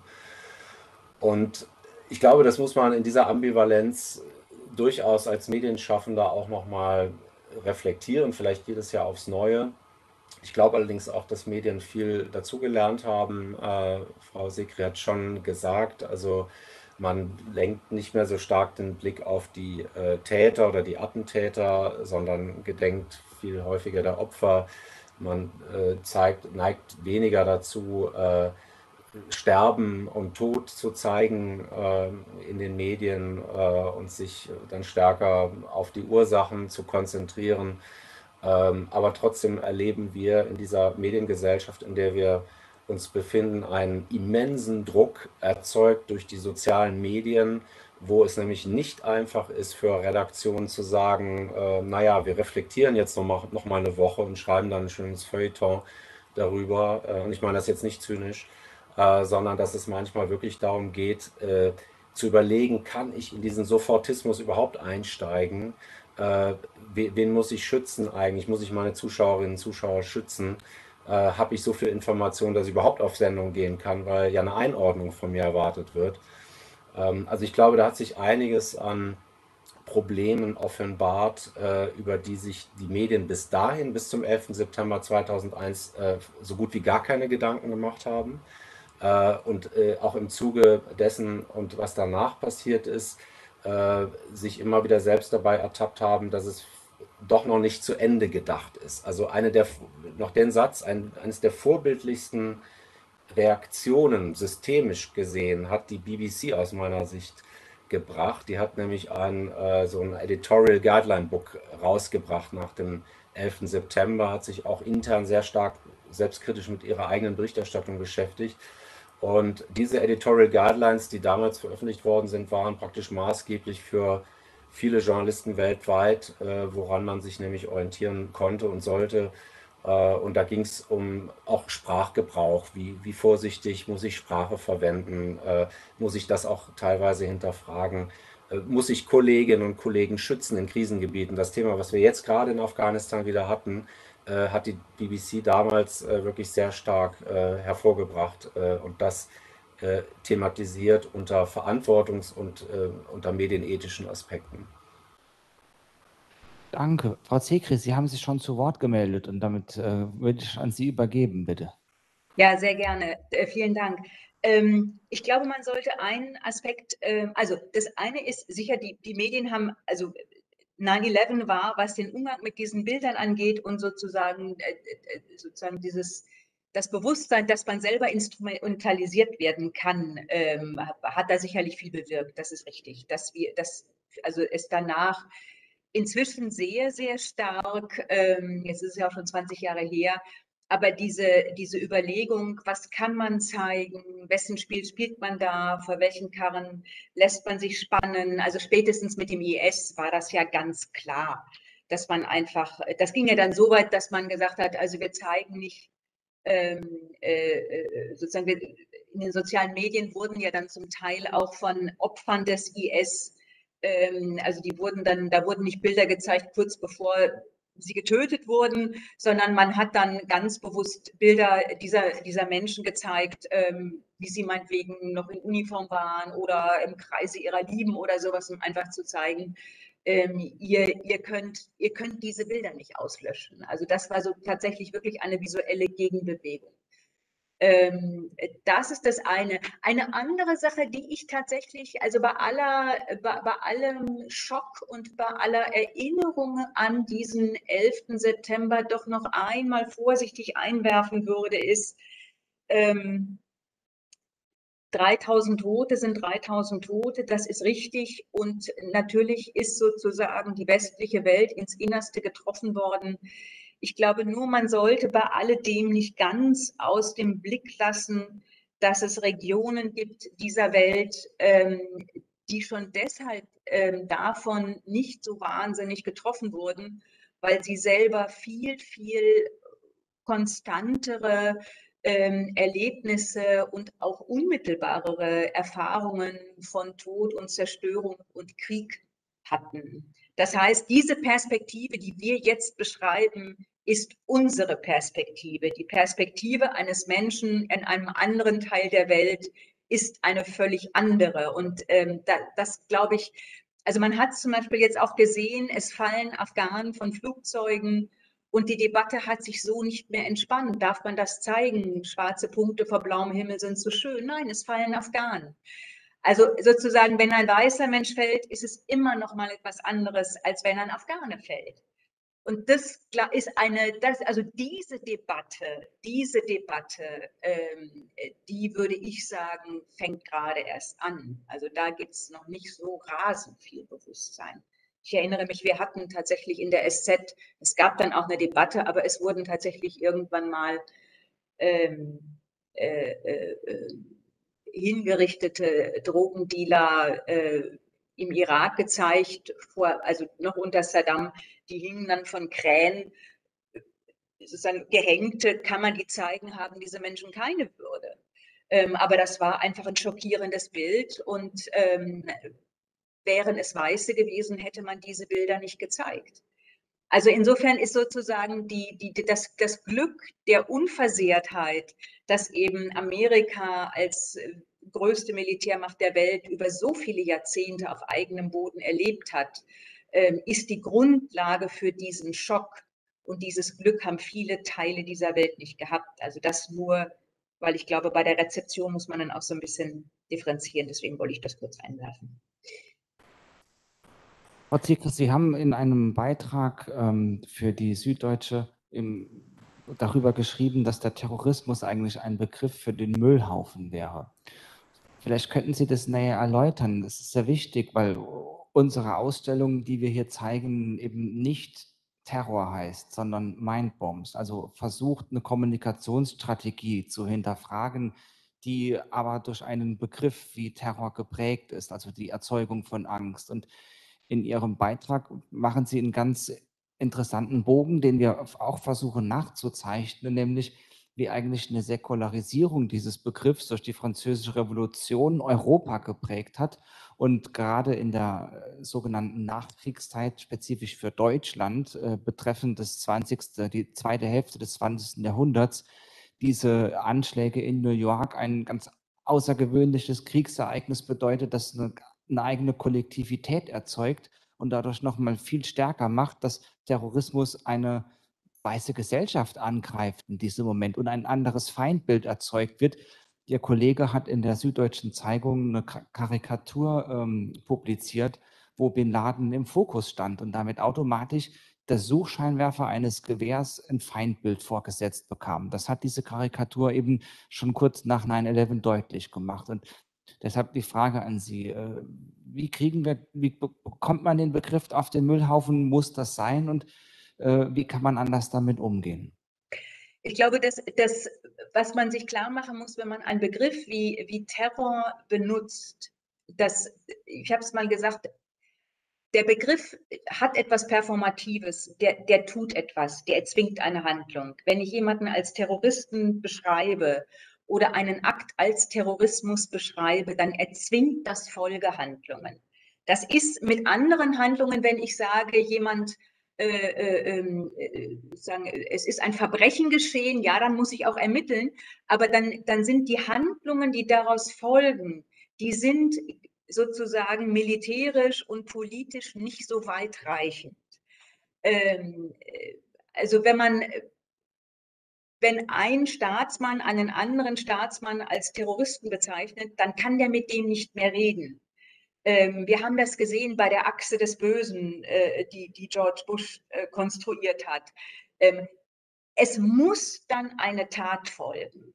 Und das ist das, was ich am Anfang meinte. Da ist so eine, so eine immanente Entgrenzung drin. Also für mich war tatsächlich ganz persönlich, ich fand es in dem Moment nicht mehr praktikabel von Terrorismus. Also der Begriff schien mir nicht mehr, der schien mir einfach nicht mehr ähm, praktikabel zur Beschreibung auch dieser Post-9-11-Wirklichkeit, als ich in Beirut war. Und dann war ich in der Dahia, das ist dieser, äh, dieses schiitische Viertel, äh, wo natürlich ähm, die Hisbollah das Sagen hat und man hat äh, liebevoll geschnitzte Statuen von Khomeini und äh, gelbe Flaggen und, ähm, und dann denkt man sich, wie, wie kann das sein, dass alle diese Menschen, Frauen hängen Wäsche auf, Kinder spielen auf der Straße und alle diese Menschen wollen jetzt Terror?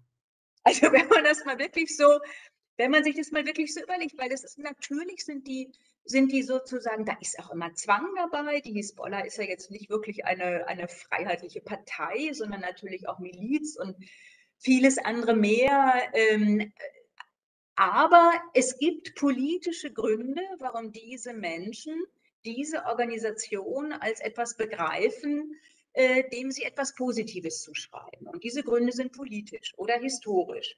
Und in dem Moment, wo ich aber sage, die Hisbollah ist eine Terrororganisation, ähm, äh, sozusagen kann ich als Staat oder können staatliche Akteure oder auch militärische Akteure oder wie auch immer mit denen nur noch auf eine bestimmte Weise umgehen. Und ich hatte das dann in diesem Text ähm, oder auch später, sozusagen, das, das, das ist so ein geflügeltes Wort, ähm, der Terrorist des einen ist der Widerstandskämpfer des anderen. Und ähm, das ist, also ich finde es, ich fand ihn einfach nicht mehr praktikabel zur Beschreibung dieser Wirklichkeit. Deswegen muss man jetzt äh, sozusagen das nicht, äh, ähm, nicht billigen, nicht gutheißen ähm, oder verzeihen oder verstehen oder, also verstehen ist nie verkehrt, aber ähm, man muss sich auch damit nicht abfinden. Aber dieser Begriff des Terrorismus, der eben dieses Wir wir sind sozusagen die Opfer des Terrorismus und die anderen sind diejenigen, die uns etwas antun. Wir werden nie in den Moment kommen, dass wir sagen, ja, warum machen die das denn? Gibt es vielleicht eine historische Entwicklung oder gibt es politische Dinge, die dem vorangegangen sind, die da zur Entstehung geführt haben? Deswegen fand ich diesen Begriff des Terrorismus zu, ich, ich fand ihn tatsächlich oder finde ihn auch nach wie vor so wie er heute benutzt wird, auch mit allem, was er Demokratien an Schlechtem gebracht hat, ähm, finde ihn nicht mehr praktikabel. Es gibt in unserer Ausstellung eine, gerade Ihre jetzige Ausführung äh, illustrierend und äh, aufgreifende Kunstinstallation von Kader Ratia, ein französisch-algerischer Künstler, der sich schon seit vielen Jahren genau mit dieser Frage beschäftigt. Wie hat eigentlich der sogenannte orientalistische Blick des 19. Jahrhunderts, spezifisch aus Perspektive der europäischen Kolonialmächte auf den sogenannten globalen Süden, Stereotype und antimuslimische Rassismen hervorgebracht, die fast stringent auf 9-11 zulaufen und von dort nochmal einen Verstärkereffekt bedeuten. Vor allem hervorgebracht durch mediale, illustrierte Berichterstattung, wie das das Journal Illustré des 19. Jahrhunderts in Frankreich geleistet hat, aber auch äh, Zeitschriften wie der Spiegel, das Time Magazin in der Gegenwart analysieren und äh, sogenannte wissenschaftliche Publikationen. Da liegt auch ein Buch von Walter Lacoeur zum Beispiel im Regal von Kader Atia, das diese Frage aufgreift und uns zeigt, tatsächlich ist so eine Ausstellung und das künstlerische Medium, das das Werk eben hier äh, bedeutet, etwas, mit dem wir versuchen als Museum die von Ihnen hier aufgebrachte Argumentation auch zu inszenieren und zu sagen, schauen wir doch einmal hinter die Kulissen der Terrorismusberichterstattung und fragen uns, wie kommt es eigentlich zu diesen Bildern und wie wurden sie auch in der Vergangenheit ähm, in irgendeiner Form provoziert, diese Aggressionen, wo Gewalt zu Gegengewalt führt. Und um das Museum an der Stelle nochmal vom Begriff der Kunst her zu beleuchten, wollte ich, bevor ich das Publikum und ein paar Fragen und äh, Stichworte bitte, falls es äh, diese gibt, zu Frau von Kessel zurückführen, die ja die Kunst zu einem Rahmen ihrer Erzählung macht. Inwiefern hat bei Ihnen, Frau von Kessel, in dem Roman die Kunst, die Galerie eine katalysierende, rahmende, erklärende, traumatologische Funktion, was 9-11 anbelangt? Ja, das sind irgendwie, glaube ich, oft so ein bisschen unbewusste Entscheidungen, die man trifft äh, in so einem Roman. Und auch, weil ich ähm, damals einen Galeristen porträtiert hatte und, und an dem das so ein bisschen angelehnt habe. Hm, dieser, so ein jungen, äh, das war so ein junges, so ein Enfant terrible. Das, aber natürlich auch, ähm, auch wegen diesem Aspekt des Bildes, des Abbildes und der Wirklichkeit. Und, und weil das eben in vielen äh, Situationen vorkommt. Ne? Was, ähm, was ist ein Abbild von etwas und was ist eben das, was wirklich passiert und, und dass das schwer ist, äh, miteinander übereinzubringen und welches ist auch wahrer. Ich kann es nicht besonders gut ausdrücken, aber ist, ist äh, das Abbild wahrer oder das, was man vor sich sieht, ja? Wie mit diesem CNN und, und vor Ort nichts wissen. Aber es war tatsächlich, äh, muss ich sagen, ähm, eher eine unterbewusste Entscheidung mit der Galerie. Herr Weichert sitzt jetzt in Hamburg. Äh, wir wissen, Sie müssen sich gleich auch ausloggen, wenn halb neun ist. Deshalb frage nochmal, ob es eine ich Frage Ich habe mich mit meiner Familie verständigt. Also die Viertelstunde ja. ist noch drin. Ah ja, das ist doch schön. Gehabt hier. Herr, Herr Weichert, es gibt in, in Karlsruhe einen ganz, ein ganz wichtiges Museum, das ZKM, das äh, Medienmuseum, das geleitet wird von dem österreichischen Künstler Peter Weibel. Und Peter Weibel hat einen ganz interessanten Beitrag verfasst in einem, genau, einem Symposium für die Volksbühne in Berlin. Und da spricht er von dem Atheismus. Also er nimmt Mohammed Atta zum, zum Gegenstand seiner Erläuterung, um über Kunst, Avantgarde und äh, die Fragestellung des Terrorismus als Konkurrenz zur Kunst zu sprechen. Und jetzt war in Hamburg waren zwei wichtige Dinge. Einmal die Terrorzelle, aus der Mohammed Atta hervorgegangen ist, um eben dann in New York als Attentäter ein Flugzeug zu steuern oder zumindest beteiligt zu sein. Und äh, wenige Tage nach 9-11 hat dort Karl-Heinz Stockhausen ein Presseinterview gegeben. Und ich habe das da in meiner eigenen Dissertation auch ausführlich äh, versucht zu analysieren, wie das Stockhausen-Syndrom an der Stelle zum Ausdruck kommt. Und wie würden Sie sagen, das ist jetzt natürlich ein Zufall, dass Sie auch noch in Hamburg tätig sind, aber so ganz zufällig finde ich es eben doch nicht, weil Abi Warburg dort auch äh, die Bildanalyse, die politische Ikonografie mit begründet hat, indem er sagte, wir dürfen nicht nur auf die Bilder der Kunst schauen für die Kunstgeschichte, sondern wir müssen einen Atlas der Bilder zeichnen, der von der Antike bis in die Gegenwart reicht und dort bestimmte Formen der Gestik, Pathosformen hervorbringt. Also auch die Formel des Tötens, die Hand, die den Kopf hält wie das Medusenhaupt, aber auch das Flugzeug, das ins World Trade Center fliegt. Wie lässt sich das miteinander verbinden aus, äh, dieser, aus der Perspektive? Sie haben ja über das Krisenereignis gesprochen und äh, diese Ästhetisierung, die auch Herr Butler in seinem Beitrag Ihrer Konferenz ausführt. Was bedeutet das für die Ästhetik und die Medienwissenschaft? Naja, ich bin ja jetzt von Hause aus kein äh, Kunsthistoriker, sondern Soziologe und Kommunikationswissenschaftler. Deswegen versuche ich immer die Einbettung in, in gesellschaftliche Vorgänge äh, in den Vordergrund zu stellen. Ich glaube aber, dass der Kunstbetrieb natürlich jedes Recht hat, auch auf seine Weise die Ereignisse zu interpretieren, zu verarbeiten. Das war schon von Anbeginn äh, wahnsinnig wichtig. Ähm, so, sozusagen so Schablonen der Einordnung und dieses Ausmaßes äh, eines Ereignisses, was keiner so richtig verstanden hat, äh, darüber zu legen. Und äh, nach meiner Beobachtung ist ja sogar selbst Stockhausen inzwischen so, so, fast schon rehabilitiert mit dieser Aussage, weil man jetzt vielleicht die Distanz hat von 10, 15 und heute 20 Jahren, um das vielleicht etwas anders beurteilen zu können, als es damals war. Der wurde ja sehr schnell als verrückt abgetan. Aber das war auch vielleicht ein Akt der Hilflosigkeit seinerseits, äh, die Ereignisse so, so zu deuten, nämlich aus seiner professionellen äh, Perspektive. Ähm, Frau Seke hat ja eben so schön in Bezug auf Frau von Kessel gesagt, da hat man so ein professionelles Profil oder so einen Schatten, den man da vorschiebt und man ist gar nicht man selbst. Ich, so interpretiere ich Stockhausen heute auch.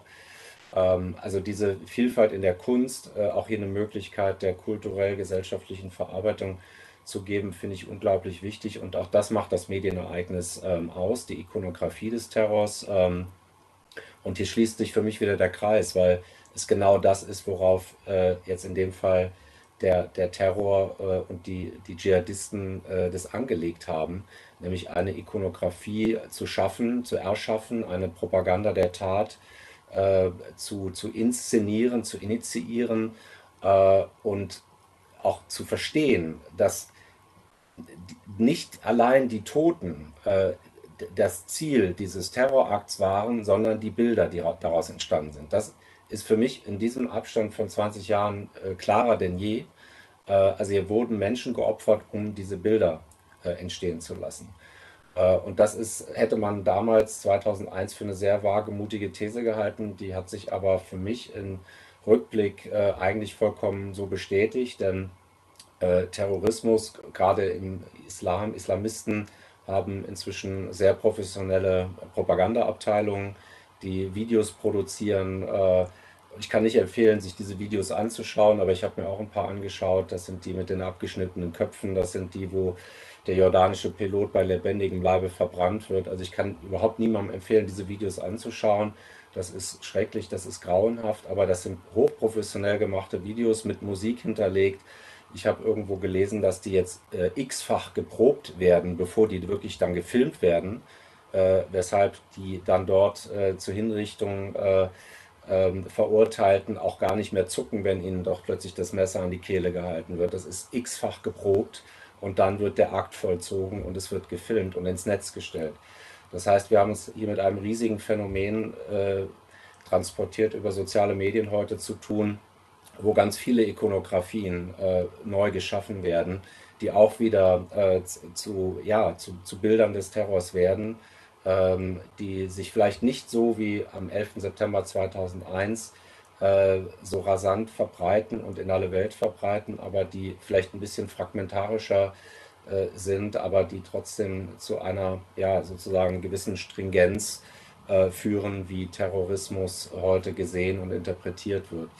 Und ich finde einen Punkt noch wichtig bei der Instrumentalisierungsthese, dürfen wir auch eines nicht vergessen, diesen sogenannten Werter-Effekt. Also das heißt, das, was wir da möglicherweise zeigen als Journalistinnen und Journalisten, kann natürlich zu Nachahmungen führen und hatte, hat auch in der Vergangenheit zu Nachahmungen äh, geführt.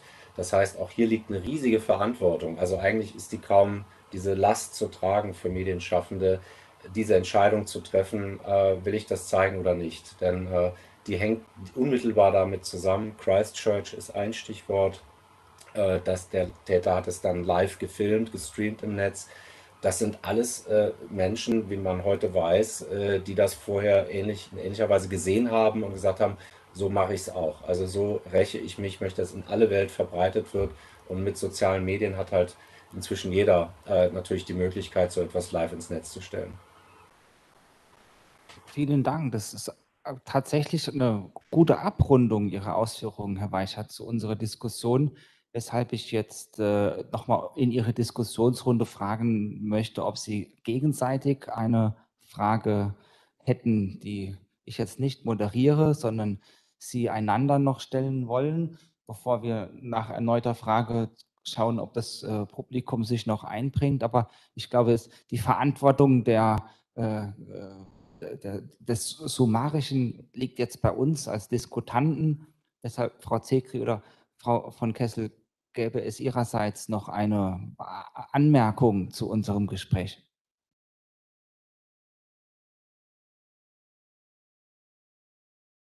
Nein, von meiner Seite aus nicht. Ich bin gespannt auf die Fragen der Zuschauer und Zuschauerinnen. Dann übergebe ja. ich mal an die Dörte. Lässt sich aus dem Publikum eine, eine Bemerkung oder eine Frage herauslesen? Das, äh, das Publikum hält sich noch etwas zurück mit Fragen. Äh, aber äh, Thorsten Mayer gibt immer zwischendurch so ein bisschen auch rein, woran ihn das, worüber wir hier gesprochen haben, auch äh, erinnert oder ähm, was ihm da, welche Gedanken ihm dazu kamen. Er schreibt, er dachte damals, also an 9-11, dass die Atomraketen losfliegen. Äh, und als wir über die äh, Videos sprachen mit den ähm, abgetrennten Köpfen, äh, dass er auch solche Videos kennt, nämlich von amerikanischen GIs, die brutal hingerichtet wurden. Aber wir können jetzt natürlich nochmal dazu ermuntern, wirklich nochmal ne, die Gelegenheit zu nutzen, eine Frage zu stellen. Und ähm, ansonsten äh, möchten wir Sie natürlich dazu ermuntern, zu uns nach Mannheim zu kommen und sich die Ausstellung vor Ort anzuschauen. Ja, tatsächlich bietet die Ausstellung viele Diskurse an, die hier auch angerissen wurden, inklusive der letzten Ausführungen von Stefan Weichert, wo ich das Werk von Kevin B. Lee und Chloe Galibert-Lené erwähnen darf, The Bottled Songs of Lost Children, eine Mehrkanal-Video-Installation, die den analytischen Dialog zweier Künstler und Wissenschaftler äh, dokumentiert. Also ihre, Bildschirm, äh, ihre Bildschirme wurden gefilmt, live aufgezeichnet und zeigen, wie sie versuchen, einem französischen Medienarchiv zu folgen, das als einziges weltweit verschiedene ganz grausame Sequenzen der IS-Propaganda noch gespeichert hat, abrufbar hält und auf dieser Basis äh, entwickelt sie ihre Recherche dahin, wie der IS seine Bilder produziert und äh, welche Medienstrategien tatsächlich verwendet werden. Also auch aus dem Gaming, aus der Hollywood-Ästhetik kommend, dass hier Inszenierungspraktiken eingesetzt werden, die äh, nochmal ganz anders funktionieren als ähm, 9-11, wo es ja vor allem um diesen Laokoon-Moment des Einschlags geht, der medial erfahrbar wird. Also der Feuerball des Einschlags, die Sekunde des äh, zerstörten Südturms, während dieses Narrativ der Grausamkeit, das Herr Beichert auch erwähnt hat, also Köpfe abschneiden, wesentlich archaischer zurückgeht in die Zeit auch der französischen Revolution, wo die Köpfe abgeschnitten und herumgetragen wurden, um damit Tugend und Terror zu verbinden und dieses äh, grausame Moment dann etwas weniger grausam angeblich durch die Guillotine ersetzt wurde.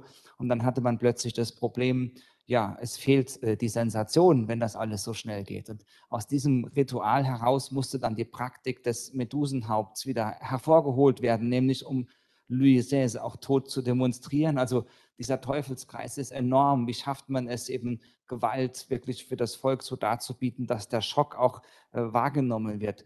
Und ich glaube, die, oder ich hoffe, die Ausstellung zeigt das in vielen verschiedenen Momenten, weshalb ich auch alle Zuhörenden nur ermuntern möchte, kommen Sie zu uns in den Dialog. Wir haben Kuratorenführungen, auch mit mir äh, in den nächsten Wochen und bieten ein weiteres Begleitprogramm an. Das ABC des Terrorismus geht weiter und insbesondere am 6. Oktober kann ich schon zu einem Podium einladen, wo Künstlerinnen der Ausstellung, also Morichin Aleyari, Johann Grimon Press und Henrike Naumann werden über ihre Arbeiten sprechen im Zusammenhang mit unserem wissenschaftlichen Beirat und einem Symposium über Dschihadismus online, wie also aktuell Terrorismus vor allem über soziale Medien und Online-Propaganda funktioniert und nicht mehr darauf angewiesen ist, dass ein Kameramann in New York die Perspektive richtig hält, sondern es ist ein Automatismus. Man produziert die Bilder also selbst. Das zum Ausblick auf unser Programm. Und falls Ihrerseits jetzt keine weiteren Fragen mehr sind, auch nicht in unserem Plenum, würde ich mich ganz herzlich bedanken fürs Mitdiskutieren, für Ihre Ausführungen, für die auch emotionalen Berichte aus Ihrem, Ihrer eigenen Erfahrung, für die Lesung, Frau von Kessel, aus Ihrem Roman. Und ähm, gebe damit zurück an Dörte Dennemann, die wahrscheinlich unser Podium jetzt schließen wird. Ja, ich kann dem nichts hinzufügen, außer dem herzlichen Dank, dass Sie alle teilgenommen haben, dass Sie sich zu Hause zugeschaltet haben. Wir konnten unsere Gäste ähm, äh, glücklicherweise gewinnen, auch ein kleines Statement noch zu liefern, was wir bald auf unserer Website im Blog zur Ausstellung ähm, veröffentlichen werden. Und bleiben Sie uns gewogen. Wir wissen nicht, wie viele äh, Veranstaltungen wir hier vor Ort auch machen können in der nächsten Zeit. Heute sind wir sowieso ganz online und digital, aber auch die weiteren Veranstaltungen werden wir eigentlich immer, wenn nicht sowieso ganz digital, auf jeden Fall hybrid durchführen. Das heißt, Sie können uns hier äh, vor Ort besuchen und auch digital von New York aus Afghanistan weiß ich nicht, aber von überall eigentlich zuschauen. Ja, vielen Dank und ich kann auch auf den Katalog nochmal hinweisen. Im Kerber Verlag jetzt im Druck mit Beiträgen verschiedener Autorinnen, die das Thema und vor allem die drei Sektionen der Ausstellung aufgreifen, wird bald erscheinen und damit äh, seien Sie schon vorbereitet. Vielen Dank. Jetzt gibt es doch noch einen, ganz, einen, einen, einen kleinen äh, Kommentar von Jurika Volarewitsch. Vielen Dank für diese wunderbare Veranstaltung. Ich bin nachhaltig beeindruckt, wie das Podium diese auch nach 20 Jahren höchst traumatischen Ereignisse eingeordnet haben. Danke, das möchte ich auch an die Gäste, an die Referentinnen weitergeben. Vielen, vielen Dank. Und allen noch einen schönen Abend und einen individuellen Gedenktag am 11. September. Tschüss. Danke. Schön. Wiedersehen. Schönen Abend noch. Ja. Tschüss, vielen Dank. Tschüss.